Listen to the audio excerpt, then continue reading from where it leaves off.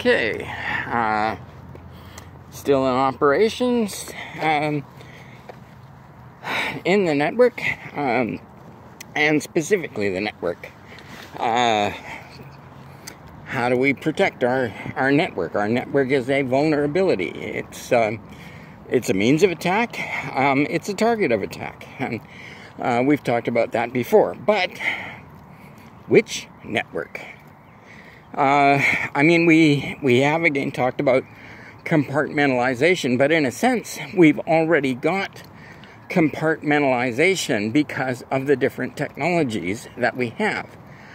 Uh, there is the personal area network uh, where we have Bluetooth and all the devices we carry on our person and the connections between them. Um, the uh, those those connections and and the uh, uh, ability for those devices to interconnect and and uh, all very convenient, uh, helpful, important to our businesses. Um, do we, you know, properly protect it in in all ways? Bluetooth uh, uh, wasn't exactly built from the ground up with security in mind. So, um, you know, where are our uh, problems there? Uh, next up to the local area network, and we've got local area. I mean, we got different sizes, unfortunately, of of local area networks. We've got, um, you know, primarily there is the the office local area network. I suppose um, if we go with the original. Uh, uh, Ethernet as a sort of a gauge. Um, we could have a floor of a building. Um, we could even have a uh, um, a building. Um, you know, not uh, too many buildings are going to extend more than a thousand meters in any direction. So um, you know, we we can consider that. But then we get to campus area networks, uh, you know, and they're still considered a local area network. Um, so we have multiple buildings, uh, and again, you know, we now we are uh, getting into gateways, routers, uh, switches, uh, and so forth in order to uh, maintain that. We can't have a, a single Ethernet. Not that having a single Ethernet was any, ever any guarantee of security. Um, so, you know, we, we have to uh, examine the security uh, possibilities, vulnerabilities there.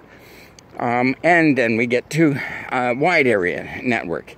And when we talk about wide area network, we're usually thinking um, okay, this is, you know, maybe country wide uh, to cover that. But there isn't any reason um, to stop at that point, to, to say that, you know, this is how far a wide area network goes. And, and so we don't have a distinction between uh, a wide area network, uh, which, you know, may be related to a single company or it may be provided by a telecommunications provider and an infranet, intranet rather, sorry, um, which is uh, a you know it's it's not public like the internet, but it's you know primarily going to be using the same technologies, and uh, uh, well, I won't exactly say limited, but intended shall we say, for um, a specific entity, a given enterprise, which may be a worldwide corporation. And, and so, what is the difference in size between an intranet and the internet? So, um, you know, as, as the um, uh, question has been raised before, what is the security perimeter. When we, I mean, you know, when we're talking about security, we are always talking about a security perimeter with regard to uh, well, eh, often with regard to a network, but as I say, you know, the bastion mentality, uh, generally speaking, um, we consider a security perimeter as, you know, our, our office building or something like that, or our floor on the office building. Um, even when we're not talking about the uh, uh,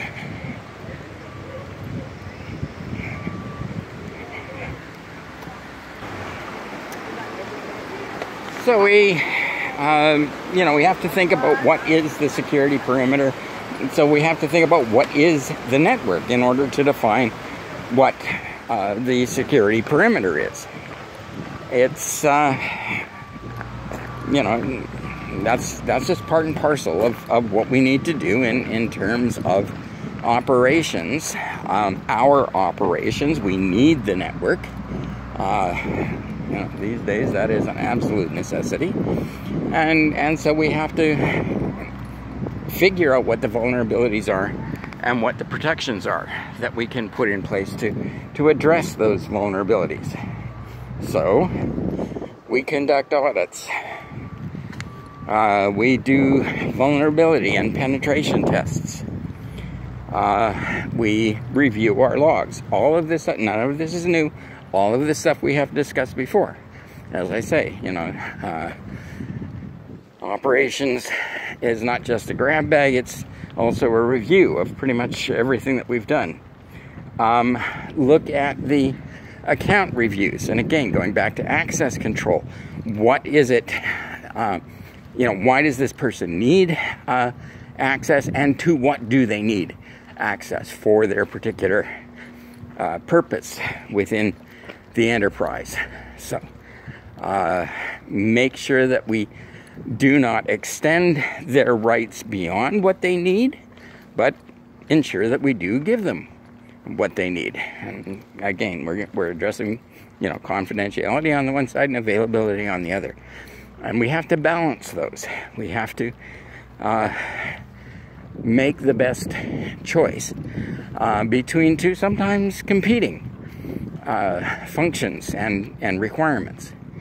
So we are, uh, you know, going to consider all of those things, uh, ensuring that we understand, uh, that we um, do the best that we can, uh, knowing what we know about our enterprise and our facilities.